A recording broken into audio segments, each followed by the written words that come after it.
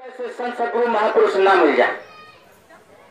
लेकिन जब मिल जाए, तब आप आगे के रास्ते को तय कर लीजिए। गुरु गुरु में भेद है, गुरु गुरु में भाव, और सोई गुरुबंद ये जो शब्द बतावे दाओ ये शब्द जो आवाज़ निकल रही, इसका जो भेद बता दे, उसी गुरु को आपको करना है। जब तक गुरु मिले ना साचा, तब तक गुरु करो दस पाचा। और हद का गुरु कोई और है, बेहद का कोई और और बेहद का गुरु जब मिले, तब लगे ठिकाना ठोर। एक खन फुकवा गुरु से, सौ घर फुकवा अच्छा। कन फूका गुरु हद का, और बेहद का कोई और और बेहद का गुरु जब मिले, तब लगा ठिकाना ठोर। किसी को फंसा दिया, कान फूक करके अटक गया कि हमको नामदान मिल गया। और उससे तो अच्छा अगर सौ घर फूक दिया, किसी ने फिर से वो बना लेंगे और फिर से रंग रोगन कलर करके उससे अच्छा ही बना लेंगे। लेकिन जो फंस गया, उसका तो दिन दुनिया दोनों चला जा रहा। इसलिए महापुरुषों ने कहा कि ध्वनि जो आने गगन की, सो मेरो गुरुदेव। जो आकाश बाणी वेद बाणी नभ कलमा ऑफ़ गॉड देववाणी जब तक खुलेगा नहीं, हुदा, तीसरा नेत्र जब तक नहीं खुलेगा तब तक दिखेगा नहीं, खुदा। वो नहीं जान सकते हम तो ये तो साइंस ऑफ़ सोल, ये जीवात्मा का विज्ञान है, रूहानियत का विज्ञान है, जो परम पूज्य बाबा जी गुरुदेव जी महाराज अपने विचारधारा को लोगों में बड़ी तेज़ी से फैला रहे और ऐसा प्रचार कर दिया। लोगों को तो फुर्सत नहीं है सुनने सुनाने की। और बाबा जी ने कहा, बच्चा, अगर नहीं सुनोगे तो होकर के मजबूर तुम नाम लोगे, हमारा कि में हमारे दर्द है तुम्हारा।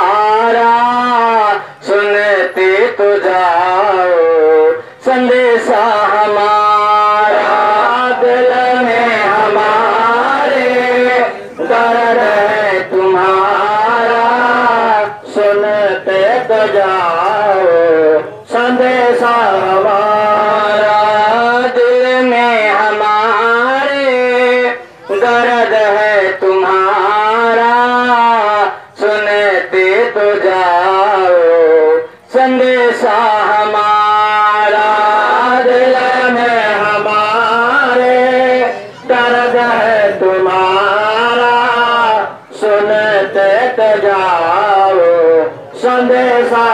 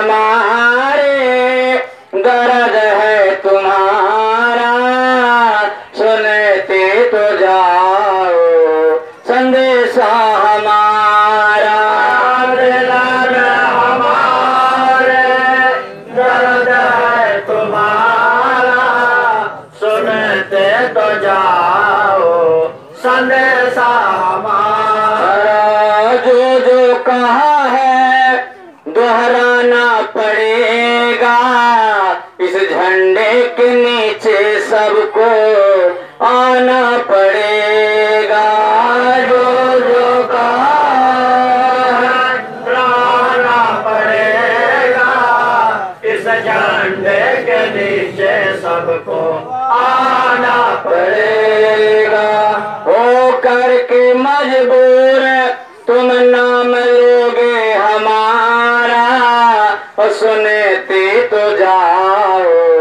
संदेशा हमारा। हो करके मजबूर तुम नाम लोगे हमारा। सुनते तो जाओ संदेशा हमारा। ये बाबा जय गुरुदेव जी महाराज के संदेश से ये मत सोचो ये ऐसे ही गफलत में ऐसे बका जा रहा। अरे वक्त की ये आवाज़ है, ऐसे महापुरुषों की अल्फाज है। अगर आप सुन लिए, समझ लिए वक्त पर आकर के, तब तो ठीक है। और नहीं तो फिर इसके बाद आप जाने आपका काज है। जो आपके समझ में आता, इसलिए बाबा जी ने कहा, बच्चा, मेरा काम है कहना। आप मानो ना मानो, आपकी मर्ज़ी है। बाबा जी की अर्जी है, आगे आपकी मर्ज़ी है। तो हमने आपने जो किया है जितनी पूजा पाठ प्रार्थना इबादत किया, बाबा जी ने कहा, बच्चा, जब हम दूता करके धमक जाएँगे और पकड़ लेंगे गला, कहेंगे, जल्दी से मकान को खाली करो, उस समय कोई भी काम आने वाला नहीं है। उस समय कौन आएगा? बाबा जी ने कहा, बच्चा, यहाँ कोई गलती गुना हो जाए, किसी धारा के अंतर्गत आपको सजा हो जाए, आप जेल में चले जाओ, फिर आप क्या करोगे? एक अच्छा से अच्छा आप खड़ा करते हो सोर्स सिक्का वसीला लगाते, फ़ोन करवाते हो, रुपया पैसा घूस देने की व्यवस्था बनाते हो। बाबा जी ने कहा, बच्चा, ये जितने लोगों को आप यहाँ जानते हो, इनको उधर की कोई खबर नहीं और तुम्हें भी कोई पता नहीं। लेकिन जब इस शरीर को खाली करके जब आप उधर चलोगे और वहाँ जब आपका कोई अपना नहीं होगा, कौन आपकी वकालत करेगा, कौन आपकी तरफदारी करेगा? आपने अपना किसी को बनाया? बाबा जी ने कहा, बच्चा, जो मेरे बंदे, मेरे बच्चे, मैं बच्चा, उनका जिम्मेदार हूँ। मुझे यह पता है, यमराज के दरबार में जब पूछा जाएगा, तब आप क्या कहोगे? वहाँ आप मुकर जाओ। जितने गुनाहें आपने किया, पूछा जाएगा, तब मुकरोगे। लेकिन वहाँ पर बाबा जी ने कहा, बच्चा, दोनों कंधों पर बैठे। एक फरिश्ते देवदूत एक लिखने का काम एक वीडियोग्राफी कर रहे, पूरी आपकी पिक्चर बनाई जा रही, वहाँ वो खोल करके निचला दी जाएगी। फिर आप क्या करोगे? बाबा जी ने कहा, बच्चा, अगर तुम ना बोलोगे, मैं वहाँ हाजिर होकर के, मैं बताऊँगा, बच्चा, किस दिन में, किस तारीख में, कितने बजे, कौन सी जगह पर मैंने तुमको दर्शन दिया, तुमको सत्संग सुनाया, या मेरे ही विचारों को बताने के लिए मेरे प्रेमियों ने आपके यहाँ जगह जगह पर जा करके पोस्टर पर्चे बांट करके लाउड स्पीकर माइक लगा करके मेरे संदेश को आपको बताया था कि नहीं बताया था आप बच नहीं सकते। इसलिए ना तो मैं डरा रहा, ना मैं धमका रहा, बात यह है सच्चाई की, मैं बाबा जी की बात बता रहा। तो जितने भी लोग बड़ा आस्था विश्वास रखते हैं पूजा पाठ में, बहुत अच्छी बात है, रखिए। लेकिन जब अमदूत आ जाएँगे, फिर उस दिन आपकी पूजा पाठ काम आएगी, या कोई और काम आएगा, इसको आप जरा सुनिए। एक पुजारी थे, जिन्होंने तमाम भगवान का, देवी देवताओं का पूजा करने का व्यवस्था बना लिया था। लोगों का भला करते, कुछ अच्छा करते, कुछ बुरा भी करते, जो उनके समझ में आता था सुखाई ओझाई भी करने लगे। एक दिन की घटना हो गई ये अंगूत आकर के पहुँचे और कहा, चल भाई, जल्दी मकान खाली कर दे। कहा, महाराज, ऐसे कैसे? कहा, नहीं, ये तो तुम्हारा नहीं है अब। जल्दी खाली करो। इतने भयानक शकल के अंदर उनको देख करके लोगों को आँखों से पानी गिरने लगता है। रोग कब्ज हो जाता, खून पानी बन जाता है। कितने लोगों को संडास पेशाब तक हो जाता है। ऐसी डरावना जनमत मरद दूसरा दुख हुई ऐसा पीड़ादायक ऐसा समय आता है हमारे आपके भी जीवन में आएगा। न चाहते हुए भी मौत का फल चखना ही पड़ेगा। बाबा जी ने कहा बच्चा दुनिया में किसी भी कोने में भाग करके चले जाओ। मौत तुम्हारा पीछा कर रही है इससे आप बच नहीं सकते। इसलिए सभी लोग तैयार रहिए। एक सच्चाई तो गांठ बाँध लीजिए कि मरना तो एक दिन ज़रूर है, और मरना है तो उसके लिए तैयारी क्या? क्या करना है? तो जब उस ओझा जी का, उस पुजारी जी का आकर के अंगूठ ने गला पकड़ा तो जहाँ आशा तहां वासा, जिसको आपने पूजा है, जिसमें आपने विश्वास व्यक्त किया है, उसी को तो आप बुलाओगे, दूसरे को तो बुलाओगे नहीं। तब ओझा जी ने बुलाना क्या किया? पुजारी जी ने बुलाना शुरू किया। कि दे बेला कमर गोहरिया गल फसरिया बपड़ी। दे बेला कमर गोहरिया गल फसरिया बपड़ी। दे बेला कमर गोहरिया गल फसरिया बपड़ी। दे बेला कमर गोहरिया गल फसरिया बपड़ी। फिर क्या बयां करते हैं, क्या बता रहे हैं? कि हम का दूत आई मोह पकड़ घेर दस दुआरिया। हम का दूत आए मोय पकड़ घेर दसो दुहरिया दस इंद्रियों का रथ दशरथ नौ खुला है और दसवां बंद है। इसलिए दसवें से ही आए हो और दसवें से ही निकाले जाओगे और दसवें रास्ते को खोलने के लिए सदगुरु बात करते हैं। अगर वक्त रहते आपने दसवां खोल लिया तो आपको जन्मने और मरने की दर खत्म हो जाएगी। तो कदू आई मोह पकड़, घेर दसो दुआरिया। मार पीट और घसीट, हर चीर पकट नरिया। कूट मूसर से पजरिया, गल पसरिया बापरे कोट मूसर से पजरिया, गल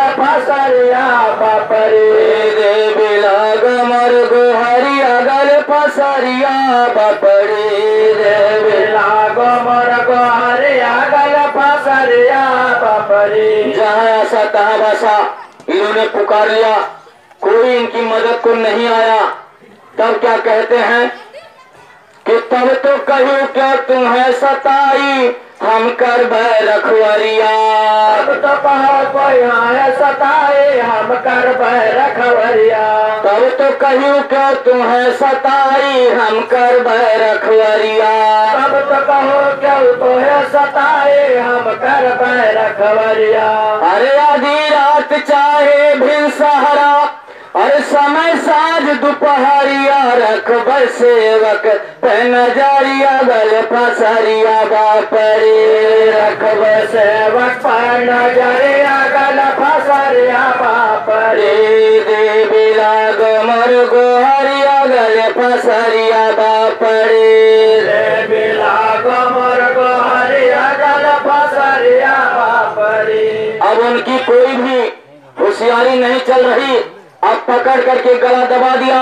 अब उनको खींचना जब शुरू किया जीवात्मा को तो अब क्या कहते हैं कि हो ना, अभी भी मदद हो जाए। देखिए, चावल जो बनाया जाता है, चावल पूरा हो गया कि नहीं? एक ही दाने से पता चल जाएगा, एक दो आप देख लीजिए। तो पक गया है तो पता चल जाएगा। और अगर नहीं समझ में आ रहा तो सब उलटते रहिए, कुछ होने वाला नहीं है। तो फिर पूरा जितना चावल है सब थोड़ी देखा जाता है। लेकिन अभी भी सोचते हैं कि बुलाएँ तो किसे बुलाएँ? दूसरा कौन मदद करेगा उनकी? फिर क्या कहते हैं?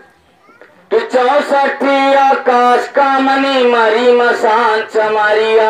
चौसठ आकाश कामनी मरी मसान चमरिया। और बस चढ़वा के सोन चिड़ैया। अरे शायर कैसे मरिया लई कर कहा गऊ लश्करिया?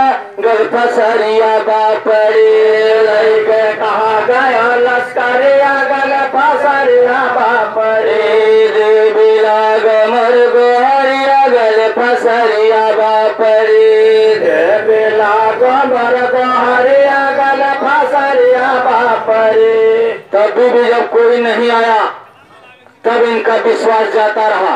अब उन्हें इतना मार मार कर इनकी हालत खराब कर दिया। अब इनको पश्चाताप होना शुरू हो गया। क्या कहते हैं कि यश जो जान धोखा देबू तो हरे खाती धर्म बिगाड़न लादन पाप गठरिया। तोहर खातिर धर्म बिगाड़े लादन पाप गठरिया। हाँ तो हरे खाती किलो एक किलो मटन और मछली सब लेकर के चले आए।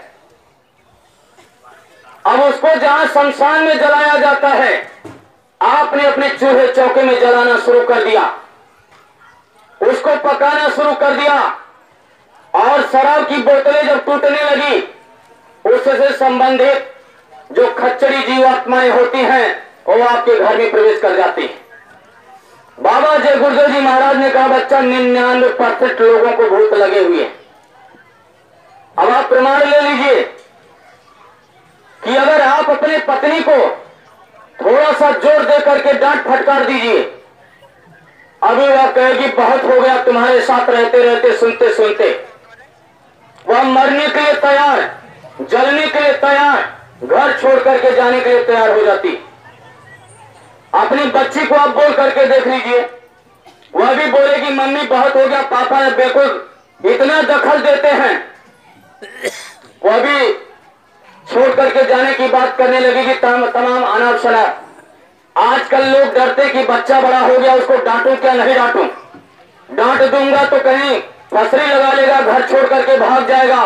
बाबा जी ने कहा, बच्चा, ऐसे समय में वो प्रेतात्माएँ, उनके ऊपर हिंसक रूप धारण करके उनसे ऐसा कर्म करवा देती हैं, इस नरदेही को बर्बाद करवा के खत्म करवा देती हैं। अभी आपने जाना का मुर्दा रखना बेकार। मुर्दा देखना बेकार। बुरा है। और उसको छूना बुरा है। तो क्या घर में चौके में ला करके, पका करके, और पेट में रखना, इसको कब्रस्तान बनाना, ये अच्छा है? आप विचार करो। समझ में आता, खूब खाओ। जितना दिल करे उतना खा लो। जिसने मछली खा लिया, मछली तालाब में, नदियों में, गाय मर गई, उसको खाया, सुअर मर गई, उसको खाया, आदमी मर गया, उसको खाया, संडास, पेशाब, गंदगी की गंदगी गई, उसको खाया। आप थोड़ा सा किसी को सर्दी खांसी हुआ हो, आप थूक करके देख मछली सब खा जाती है और उसी मछली को ला करके जब आप खाओगे, बड़े पंडित, बड़े पुजारी बनते हो, खा करके जाओगे, कहोगे कि मैं पाक हूँ। अरे किसी मैयत में चले गए, कुछ किया नहीं, छुआ नहीं। आ करके घर में एंट्री नहीं होती नहा लो धुआ लो मिर्चा लेके कुछ कुचा लो और मतलब साफ़ सुथरा से तब आना।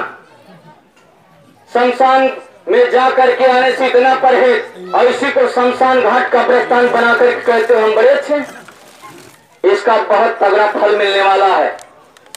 मत सताबे जवान को नहीं हरो देगा जब सुनेगा उसका मालिक तुमको जड़ों से खो देगा रहम करने वाला तुझे देखता है। अरे बेरहम तू, किधर देखता है? जो गल काटे और का, अपना रहे कटाए, और साईं के दरबार में बदला कहीं ना जाए। जब अपने ऊपर पड़ेगी तो हाय तोबा, हाय दैया अल्लाह मचाते हो, हल्ला पीटोगे, फिर कौन सुनेगा?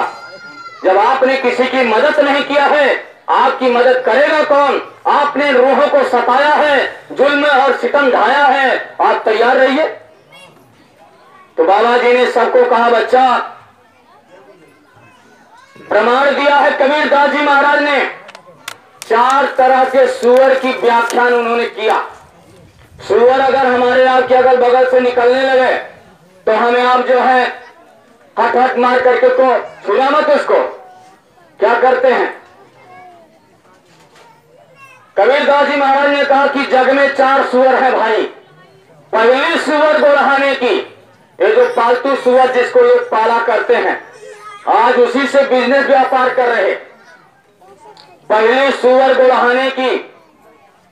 जो महिला की करती सफ़ाई, जग में चार सुअर है भाई, तमाम तरह की गंदगी को, संडास बिष्टा को खा करके खत्म कर देती। दूसर सुअर मुर्गी मुर्गा जो हमारे आपके पास अगल बगल आजू बाजू में, नालियों में छोटे छोटे कीड़े मकोड़े उनको साफ़ सुथरा करती हैं। तीसर सुअर मछली जल की पोखरों में, कुएँ में डाल दिया जाता था। तमाम तरह के कीड़े मकोड़ों को खा जाया करती थी। जल की शुद्धि सफ़ाई। जग में चार सुअर हैं भाई, और चौथा सुअर वो है भाई, जो इन सबको खाई। अब आप क्या कहोगे? इतनी बड़ी बदनामी सर पर लेकर के फिर भी कालर टाइट करके चलते बड़े धर्मनिष्ठ हैं। एक गधा जो होता है, उसको लोग कहते रहे तो किसी काम का नहीं है। गधा के लोग उपमा देते हैं कि गधा है। अरे गधे कहीं के चल, तुझे क्या अक्कल आएगी? ऐसा हम आप डांटते हैं। लेकिन वही गधा अगर कहीं रास्ते में खड़ा हो जाए हारन बजाते रहिए, गाड़ी घोड़ा लेके जाइए, हटने वाला नहीं है।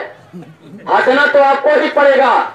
बाबा जी ने कहा कहा बच्चा ऐसे गधे को, ऐसे देश में, ऐसे मुल्क में ओपन कंट्री में लेकर के जाओ, जहाँ के लोग अनाज की जगह पर मांस खाते हो, पानी की जगह पर शराब पीते हो, गधा वहाँ पर, भूखा प्यासा मर जाएगा, जान दे देगा, लेकिन मांस और शराब नहीं खाएगा, पिएगा। अब आप बताइए, गधे से भी बदतर हमने अपने अपने स्तर को गिरा दिया, अब कहाँ लेकर के जाओगे? कितना हमें आप अपने इस मानव शरीर को गिराएँगे? और बात करते हैं बड़ी बड़ी परमात्मा सत्ता को पाने की। मैं राम की बात करता हूँ, मैं कृष्ण की बात करता हूँ, मैं भगवान की बात करता हूँ, लेकिन हमारे कर्म तो देखो। इसमें समाते कैसे ऐसे बोलते हुए कि गुनाह है तो हम इतने कर रहे हाँ जो ऐसा गुनाहगार ना हो वह ढोल पीट करके बोले। लाउड स्पीकर लगा करके बोले, उसका सम्मान है, उसका स्वागत है। लेकिन अगर ऐसे कारनामे हम आप करते हैं, मन में आन बगल में छुरी, मन में राम बगल में छुरी, और कब गफलत मिले तो काट लो मूड़ी। तो ये काम रखने वाले, ये संतों के दरबार में ऐसा नहीं चलता। मांस जो है किसी धार धड़क पेड़ पौधे से नहीं आता। किसी न किसी के जिसम शरीर को काट करके बनाया जाता है, उसे बड़ा दर्द होता है। आपको कहीं लग जाए, आपके बच्चे को लग जाए, आप कितना चिकते चिल्लाते अस्पताल तक का रास्ता देखते हो। और ज़्यादा लग गया टूट फूट हो गई तो सीधा चिल्लाना शुरू करोगे। अरे जल्दी से कोई दौड़ो, हमारे बच्चे को ऐसा हो गया एक्सीडेंट हो गया टूट फूट हो गया, बीमारी लग गई, ऐसा हो गया है। तुरंत एंबुलेंस बुलाओ। अगर एंबुलेंस आने में देरी हो गई खाट पर ही लाट करके नाके तक ले करके जाओगे कि जल्दी से पहुंचाओ वहाँ तक। उसके बाद डॉक्टर के पास, अपने पास पैसा है तो इलाज है, नहीं पैसा है तो आप क्या करोगे? किसी से उधारी दोस्ती यारी मिलोगे? नहीं मिला तो किसी से सूद ब्याज पर लोगे? उससे भी नहीं मिला तो घर का, गाड़ी का, किसी चीज़ का पेपर गिरवी रख करके कर्जा लोगे? लेकिन अपने बच्चे का इलाज कराओगे ज़रूर। बाबा जी ने कहा, क्यों बच्चा, जिसको आपने पैदा किया, उसके लिए आपको दर्द? और ये जितने पैदा किए गए, उस मालिक ने पैदा किया, उस माँ बाप को ये दर्द नहीं है? ये बात आपको समझ में कब आएगी?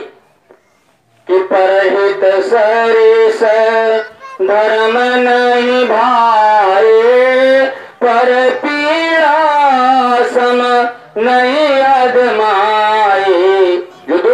दर्द को अपने दर्द के बराबर ना समझे इंसान नहीं हो सकता। अन्न खाए सो मानव मांस खाए सो स्वान स्वान माने कुत्ता। और अन्न मांस दोनों भक्ष यह राक्षस प्रमाण। आप बताइए, शादी विवाह करते अपने बाल बच्चों की?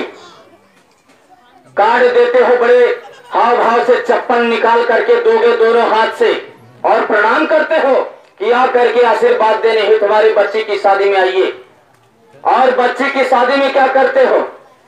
इतने मटन, इतने चिकन, इतना मुर्गी, मुर्गा, भेड़, बकरा कटवा दिया। किसके नाम पर? बर बधू के नाम पर। अब जितनी प्रेतात्माएँ कहा जाएँगी? ये सारे के सारे आपके घर में विवाद पैदा कर देंगी। बाल बच्चे की जोड़ी ये तोड़ दी जा रही, झगड़े, लड़ाई, फसाद के कारण बन रहे। ये बात आप नहीं समझ पा रहे। ये सारा का सारा खान पान का असर है। बाबा जी ने कहा, बच्चा, अगर सुधारना चाहते हो एक गलती सुधार लो और देखिए आपका जीवन कैसे नहीं बदल जाता है। और कहते आशीर्वाद देने हेतु जो आते हैं, जो तो शाकाहारी है, वो तो ठीक उनका आशीर्वाद काम। और लेकिन जो खाने वाले अन्न खाए सो मानव मांस खाए सो स्वान और अन्न, मांस दोनों भक्षय या राक्षस प्रमाण, जिन्होंने अनाज, मांस खाया और राक्षसी प्रवृत्ति है, राक्षस किसी को आशीर्वाद देता है? क्या देगा वो? एक बार देवताओं में दैत्यों में लड़ाई हुआ तो जब सहमति बनाई गई, कहा कि आप लोग तो हमेशा देवताओं का पक्ष लेते हो, भोजन का भंडारा कहा राक्षसों ने कहा कि मैं पहले मैं ही भोजन करूँगा। कहा, ठीक है, कोई बात नहीं, लेकिन ये शर्त है, खाना तो आप खाना, भोजन लेना, लेकिन ये कोहनी ऐसे हाथ मुड़ना नहीं चाहिए। पत्तल से उठाओ जैसे भी खा, लेकिन हाथ मुड़े ना। अब इन्होंने क्या किया, ऐसे बैठे पहले कहा, पहले मैं ही खाऊँगा। बैठ गए सारे राक्षस, और उनको जब भोजन परस दिया गया, ऐसे उठाते हैं और ऐसे लेके जाओ ऊपर, ऐसा मुँह बाते और यहीं से ऐसे, जैसे जेसीबी छोड़ती है वैसे छोड़ देते, खप से आकर के पूरा फचफचा करके बर्बाद कर दिया। उसके बाद जैसे तैसे निपटे, फिर देवताओं की बारी आई, जब वो बैठे पंगत में, ऐसे जब पंगत में बैठे इधर भी बैठे, इधर भी बैठे लोगों ने कहा, देखो भाई, ये शीशा लेकर तो देख लिया। अब हम लोगों को इनके जैसा काम अगर हम करेंगे तो हमारे इनके फ़र्क क्या रहेगा? इसलिए उठाए, सामने वाले के मुँह में निवाला दिया, हाथ नहीं मुड़ा। सामने वाले ने उठाया इनके मुँह में निवाला दिया, हाथ नहीं मुड़ा। भर पेट छक करके खाए तो यही फ़र्क होता ये समझने की ज़रूरत है इसको। और सुनिए जिनको बड़ा मछली अच्छा लगता है, बहुत अच्छी तरह से बड़ा स्वादिष्ट बनता है। सर, सुन लीजिए जरा। कि जरी जा जन्म ईसन जग में आके जरी जा जन्म ईसन जग में आई के जरी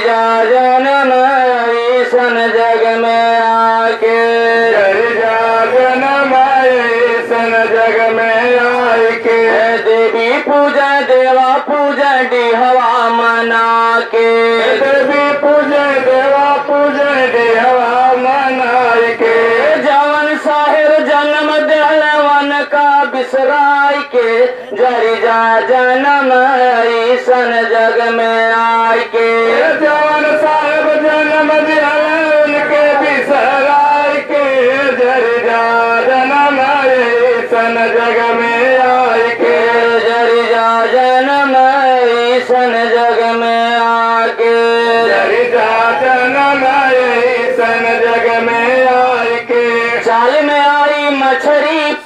परोसन उठी धार के चाल में आई मछली पर उसने उठ धार के सास से पतोहिया का लैला तौलाय के जरी जा जन्म ऐसन जग में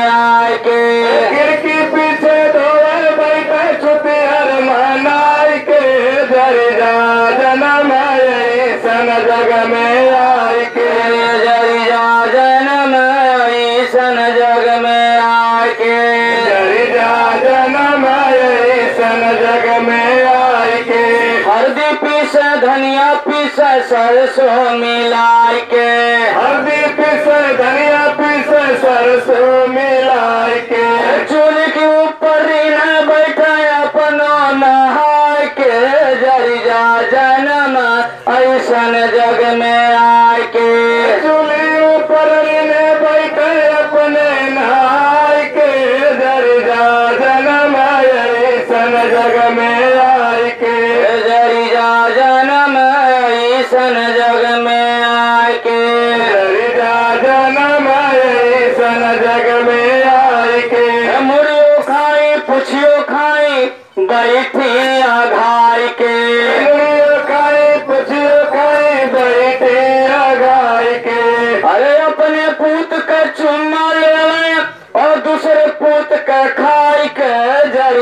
जन्म ऐसन जग में आय के अपने पूत के चुमा ले दूसरे के पूत खाए के जरी जा जन्म ऐसन जग में आय के के जरी जा जन्म ऐसन जग में आय के जरी जा जन्म ऐसन जग में आय के कहता कबीर सुनहु मच्छर खौआ। कहते कबीर सुना मच्छर खौआ। साहेब के भजन बिना मरबा बौरा के ज़रिया जन्म, ऐसन जग में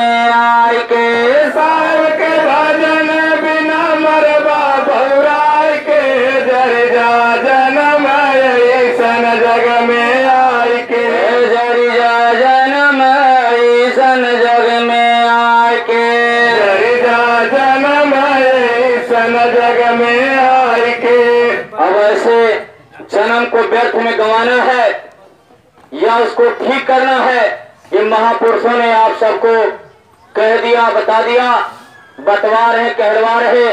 अब ये है कि मानना, ना मानना आपका काम। आप जानो आपका काम बाबा जी की अर्जी है, आगे आपकी मर्ज़ी है। तो इसलिए जब दिन मरने के आते हैं और तेल पे आई रह जाती है तो बुद्धि निपट उलटी होकर मद के जल में बह जाती है। एक रावण के आतंक से राम को आना पड़ा। अयोध्या और लंका के बीच की दूरी की को तय करके लड़ाई किया गया। अब आज क्या कहते हैं कि संसार जगत है माया का। इसमें शरीर एक लंका है। इसमें शरीर एक लंका है।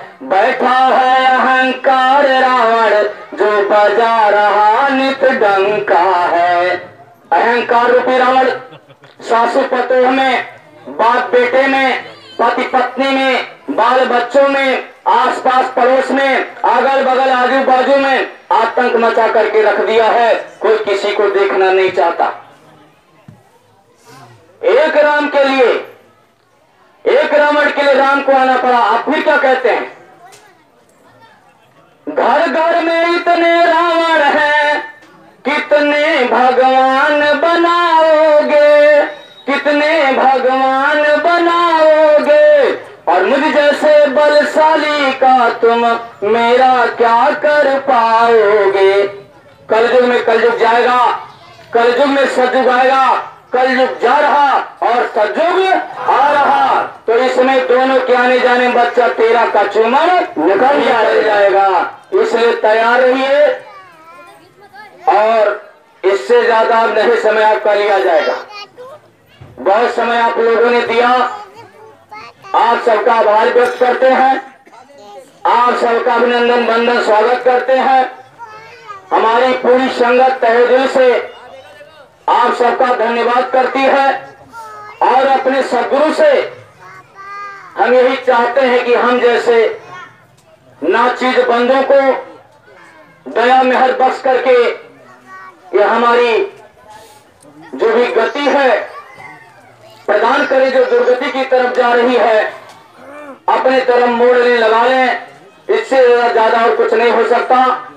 मेरे कहने सुनने में अगर कोई त्रुटि हुई होगी, किसी को बुरा भला लगा होगा, अपना छोटा भाई बच्चा समझ करके हमें आप सब क्षमा करेंगे।